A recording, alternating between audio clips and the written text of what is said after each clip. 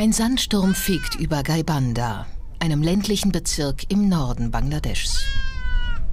Die Menschen warten auf den ersten Regen nach der Trockenzeit, auf frisches Wasser für ihr Vieh. Die Agrarwissenschaftler Kamal Hossein und Nirmal Bepari von der Hilfsorganisation Practical Action wissen, wie sehr die Bevölkerung den Elementen ausgeliefert ist. Der Klimawandel verschärft das jahrtausendealte Dilemma im Land der Bengalen. It is the April month. Es ist April und es gibt kein Wasser. Alles ist ausgetrocknet. Heute fegt sogar ein Sandsturm über die Ebene.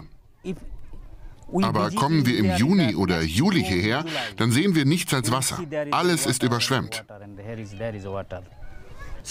Das heißt, unser Problem ist, wenn wir Wasser brauchen, haben wir keins. Und wenn das Wasser kommt, nützt es uns nichts. Denn dann geht Bangladesch regelmäßig unter. Die großen Flüsse, der Ganges und Brahmaputra, treten über ihre Ufer und überschwemmen riesige Gebiete. Kommen zudem noch die gefürchteten Zyklone, verlieren die Menschen ihre Häuser, ihre Ackerflächen, ihr Leben. Die Flut reißt alles mit sich. Der ersehnte Regen wird zum Fluch. Eine Bootsfahrt auf dem Brahmaputra zeigt das Ausmaß der Erosion. Die Fluten fressen sich in das Umland. Immer wieder stürzen Teile des Ufers in sich zusammen.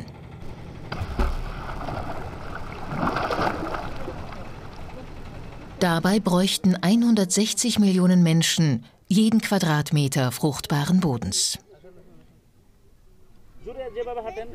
Der über 70-jährige Kukamia hat viele Fluten in seinem Leben gesehen. Er war einst ein wohlhabender Bauer mit eigenen Reisfeldern. Sechs Söhne hat er gezeugt.